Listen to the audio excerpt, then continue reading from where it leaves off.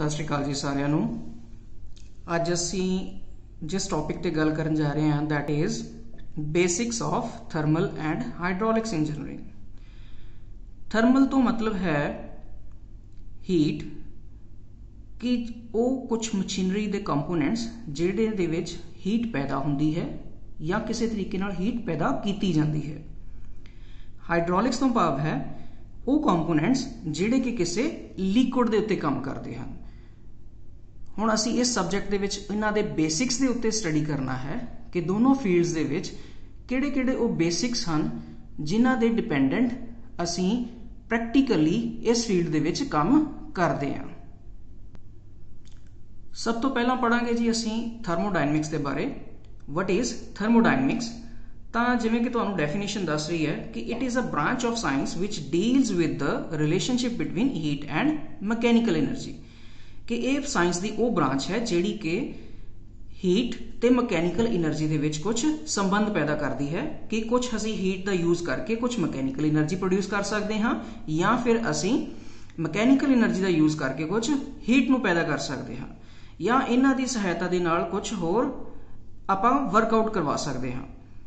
So next ਅਸੀਂ ਗੱਲ ਕਰਾਂਗੇ ਕਿ ਥਰਮੋਡਾਇਨਮਿਕਸ ਦਾ ਐਪਲੀਕੇਸ਼ਨ ਕਿੱਥੇ-ਕਿੱਥੇ ਹੈ। ਕਹਿੰਦੇ ਥਰਮੋਡਾਇਨਾਮਿਕਸ ਦੇ ਲਾਅ ਦੇ ਉੱਤੇ ਡਿਪੈਂਡੈਂਟ ਅਸੀਂ ਇਸ ਦਾ ਵਾਸਟ ਯੂਜ਼ ਕਰ ਸਕਦੇ ਹਾਂ, ਜਿਵੇਂ ਕਿ ਨਿਊਕਲੀਅਰ ਪਲਾਂਟਸ ਦੇ ਵਿੱਚ ਸਟੀਮ ਪਲਾਂਟਸ ਦੇ ਵਿੱਚ ਗੈਸ ਟਰਬਾਈਨਸ ਦੇ ਵਿੱਚ ਆਈਸੀ ਇੰਜਨਸ ਦੇ ਵਿੱਚ air conditioning refrigeration air compressor ਤਾਂ ਇਹਨਾਂ ਵਾਸਟ ਫੀਲਡਸ ਦੇ ਵਿੱਚ ਅਸੀਂ ਥਰਮੋਡਾਇਨਾਮਿਕਸ ਦੇ ਲਾਜ਼ ਦੇ ਉੱਤੇ ਵਰਕਆਊਟ ਕਰਵਾ ਕੇ ਅਸੀਂ ਕੰਮ ਕਰ ਸਕਦੇ ਹਾਂ।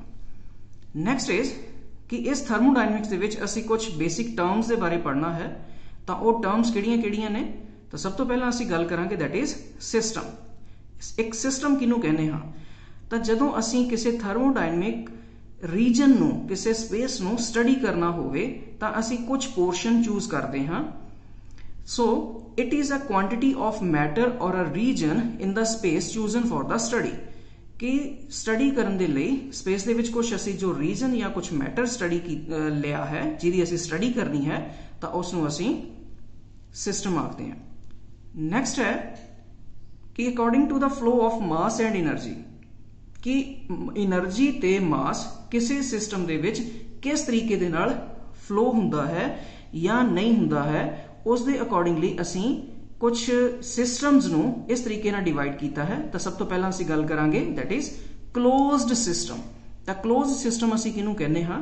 ਤੁਸੀਂ ਇੱਥੇ ਡਾਇਗਰਾਮ ਦੇ ਵਿੱਚ ਦੇਖ ਸਕਦੇ ਹੋ ਕਿ ਇੱਕ ਸਿਸਟਮ ਬਣਾਇਆ ਗਿਆ ਹੈ, ਜਿਸ ਦੇ ਵਿੱਚ ਲਿਖਿਆ ਗਿਆ ਹੈ, that is mass m is constant ਤਾਂ ਇਸ ਦੇ ਵਿੱਚ ਕੀ ਹੋਏਗਾ ਕਿ ਉਹ ਸਿਸਟਮ ਜਿਸ ਦੇ ਵਿੱਚ ਮਾਸ ਕਨਸਟੈਂਟ ਹੋਵੇ ਔਰ એનર્ਜੀ ਸਿਸਟਮ ਦੇ ਅੰਦਰ ਜਾ ਸਕਦੀ ਹੈ ਜਾਂ ਸਿਸਟਮ ਦੇ ਅੰਦਰ ਤੋਂ ਬਾਹਰ ਜਾ ਸਕਦੀ ਹੈ। ਐਗਜ਼ਾਮਪਲ ਦੇ ਉੱਤੇ ਅਸੀਂ ਦੇਖ ਸਕਦੇ ਹਾਂ ਕਿ ਪਿਸਟਨ ਸਿਲੰਡਰ ਅਰੇਂਜਮੈਂਟ ਇਸ ਦੇ ਵਿੱਚ ਸਾਡੇ ਕੋਲ ਕੀ ਚੀਜ਼ ਹੁੰਦੀ ਹੈ ਕਿ ਮਾਸ ਸਾਡਾ ਕਾਂਸਟੈਂਟ ਹੁੰਦਾ ਹੈ ਤੇ એનર્ਜੀ ਸਾਡੀ ਫਲੋ ਕਰ ਸਕਦੀ ਹੈ ਅੰਦਰ ਬਾਹਰ।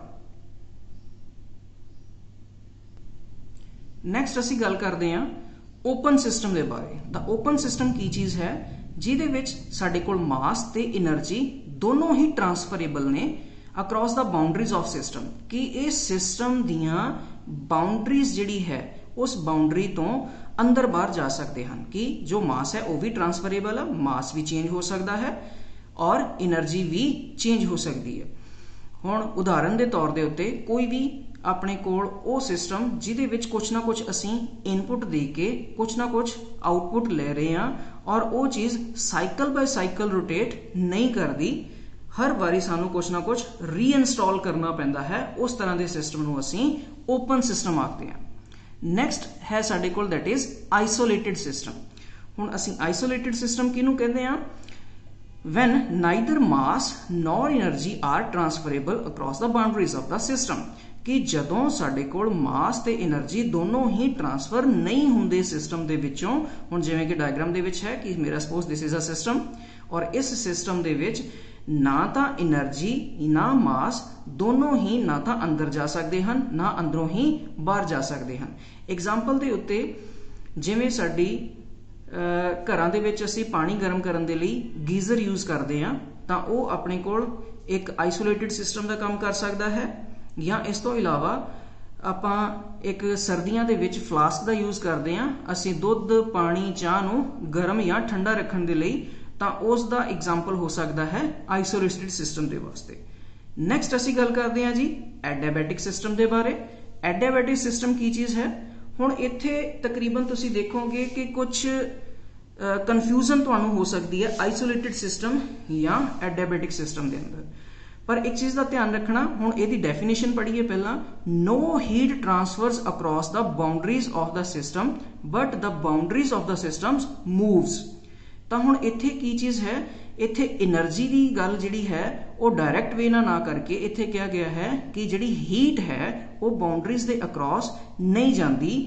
ਬਟ ਨਾਲ ਦੀ ਨਾਲ ਇਹ ਸਿਸਟਮ ਕਿਸ ਤਰ੍ਹਾਂ ਦਾ ਹੋਏਗਾ ਕਿ ਜੋ ਇਸ ਦੀਆਂ ਬਾਉਂਡਰੀਜ਼ ਹੋਣਗੀਆਂ, ਉਹ ਬਾਉਂਡਰੀਜ਼ ਮੂਵਿੰਗ ਬਾਉਂਡਰੀਜ਼ ਹੋਣਗੀਆਂ।